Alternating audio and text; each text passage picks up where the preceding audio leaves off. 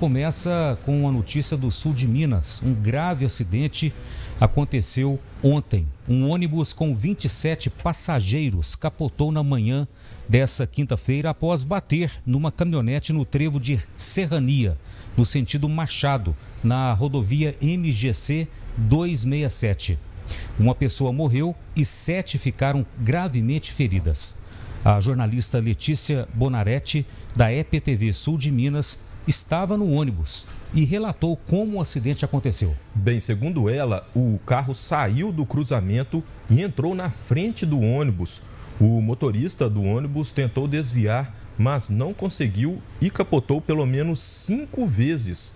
Vamos ver o que a Letícia disse no momento em que o acidente havia acabado de acontecer. Meu nome é Letícia, eu sou da equipe da IPTV. Infelizmente, eu estava dentro do ônibus da aviação Gardênia que sofreu o um acidente. O que, que aconteceu foi que um carro, é, ao sair do cruzamento, ele entrou na frente do ônibus e o ônibus tentou desviar, mas bateu e capotou.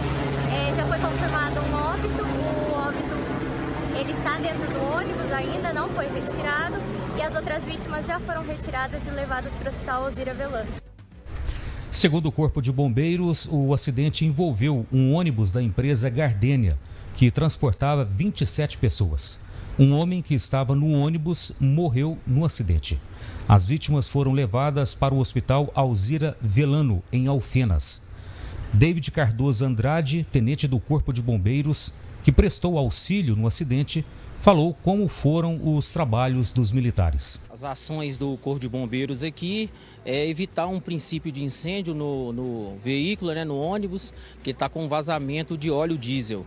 Então nossa equipe está com uma viatura, um caminhão postado com a linha direta pronta para poder intervir em caso de um princípio de incêndio. A princípio é, são 28 vítimas. Haviam 27 é, passageiros no ônibus, né, contando com o motorista, é, 27 no ônibus e um condutor do, do outro veículo, que é uma caminhoneta. Segundo é, informação do motorista que a gente socorreu, é, ele foi transportado para o hospital Zira Velando e ele alegou que estava sentido Belo Horizonte, que o ônibus da Gardênia estava indo para Belo Horizonte e que essa caminhoneta estaria no trevo e na hora que ela foi atravessar sentido Serrania houve essa colisão mas não dá para precisar é, quem está certo ou quem não está.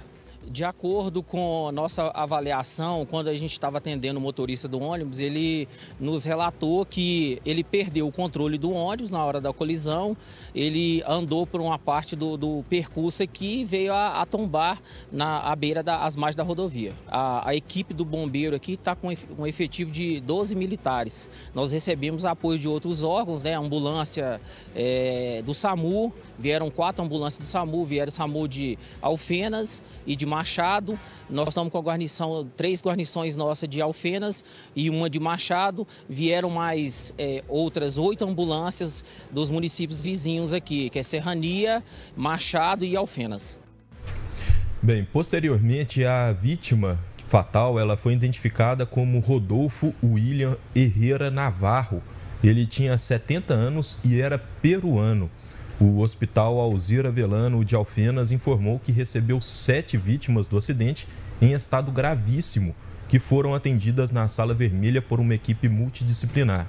Dois foram para o CTI, dois para o bloco cirúrgico e os outros foram submetidos a exames. Já o motorista do ônibus sofreu apenas ferimentos leves. Em nota, a Expresso Gardênia disse que, segundo o relato da guarnição da Polícia Militar, que registrou a ocorrência, a caminhonete branca trafegava pela rodovia no sentido Campestre Machado, realizando ultrapassagens por diversos veículos de forma irregular, pois a mesma, as mesmas ocorriam em faixa contínua. Bem, a nota diz ainda que, conforme a polícia, o motorista da caminhonete ao entrar no trevo que dá acesso à cidade de Serrania, não teria observado a sinalização de parada obrigatória, vindo a atravessar na frente do ônibus da empresa e que o motorista do ônibus, ao tentar desviar, acabou capotando. A empresa Expresso Gardena disse ainda que o veículo que realizava o transporte de passageiros estava totalmente regular e que as imagens do acidente vão ajudar a eles elucidar a dinâmica. A empresa disse ainda que acompanha o caso de forma cuidadosa e que oferta a devida assistência a todos os envolvidos.